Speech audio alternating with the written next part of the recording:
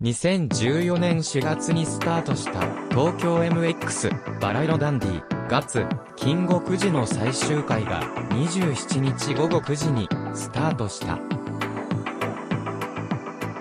深川亮、原田隆二が MC を務め、ニュースの小山慶一郎、東野凪子、ナジャ・グランディーバラ個性豊かなレギュラー出演陣と共に、刺激的な掛け合いを見せていた、同番組が、10年半の歴史に幕を下ろす。この日の放送では、MC の原田、アシスタントの荒井真希に加え、ライムスターの歌丸、浅草キッドの玉袋筋太郎が出演。番組冒頭、原田と新井が、こんばんはとテンション高めに挨拶。